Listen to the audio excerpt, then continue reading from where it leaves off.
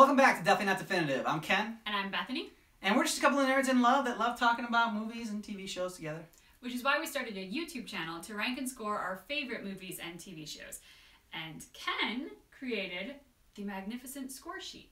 We created it together, all right? It's the most scientifically way to arbitrarily score a film, all right? So we give these movies a score based on different categories, and then based on that score, that's where we rank them in the in the Marvel Cinematic Universe. That's what we're doing first. We're doing our Marvel movies. In case you didn't know by the the title of this this video. So, of course, this video is our recap of Phase 1 of Marvel. Yeah, now in addition to our scores and ranks that we're going to give you, we're also going to show you little bits and clips of our movie reviews that we have, just so you can see our adorable, loving style, in case you couldn't tell already. now let's go to our ranks and scores, though. So bringing up the rear is the Incredible Hulk. With poor CGI that was overly focused on the Hulk's flowing locks, It was like the Hulk was in an Herbal Essences commercial. giving it a zero in our visual effects category, as well as two leads seriously lacking humor and charm. I felt they were standard enough as a male lead and female, and I'm sorry, but kind of plain Jane Edward enough. Norton might have charm, and he is standard.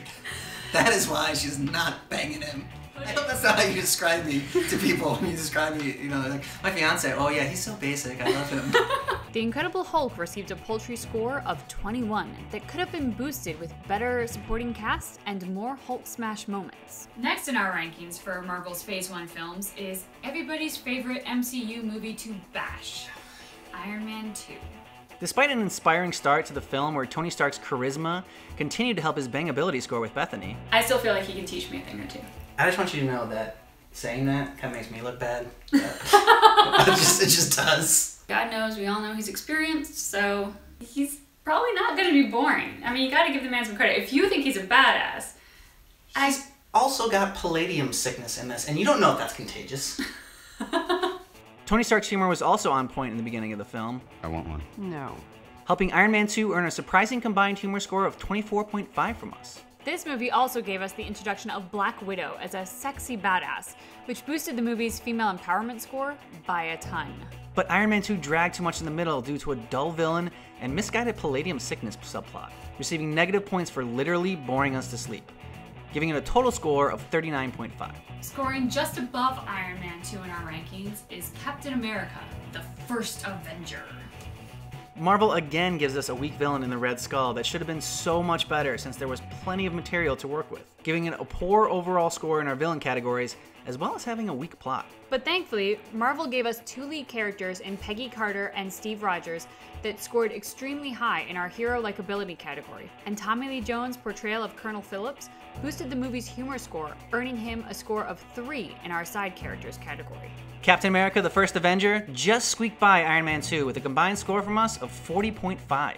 Getting into our top three films for Phase 1 of the Marvel Cinematic Universe is the movie that started it all.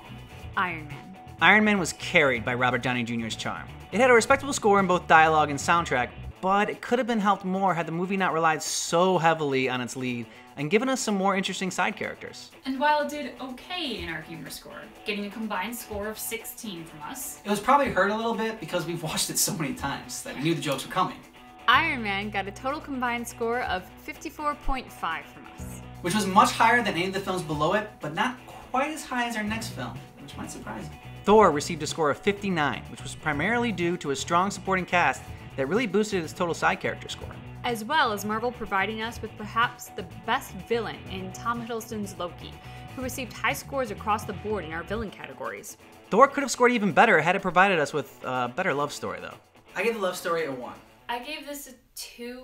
You want Lady Sif as I the love do story. want You don't like. Sif. I you don't- you don't like that he ends up with Jane. So like, I'm like, how could you give it a two? it's believable, but you don't like it. I personally want to see Thor wind up with Lady Sif. I'm very sad that that does not happen. Which leaves us with our highest ranking film from Phase 1 of the Marvel Cinematic Universe The, Avengers. Marvel really hit its stride with this film, knocking it out of the park in the humor department with a score of 53. As well as delivering on some delicious action sequences that left us wanting more, and earning a total combined score of 24 from us, and scoring high on female empowerment also. despite Ken's best efforts to dismiss the incredible badass character of Black Widow. The women there are, are there to kick butt, but there was no ultimate move by a woman that uh, saved everything. I think. Seriously? Oh, you're looking at me because oh no, Black Widow did the last the little thing at the end. It is in fact Black Widow who closes the portal. Although it wasn't her idea, just like it wasn't Pepper Potts' idea to push the button. She needed a man to tell her what to do in order to get the staff and close the portal. So even then, not, not as strong as it could be.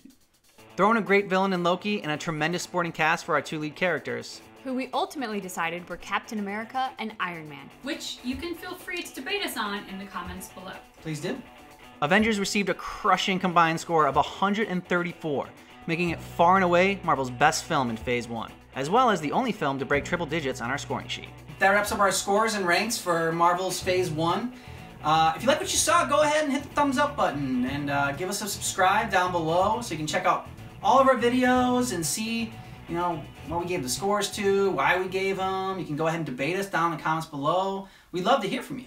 And if you want even more in-depth analysis, check out our podcast, which is available on Podbean or on iTunes.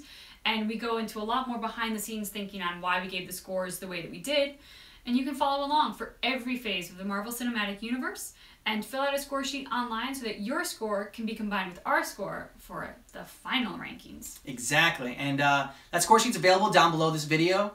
And you can also check us out uh, on Instagram at Not Definitive and on Twitter at Definitive Not.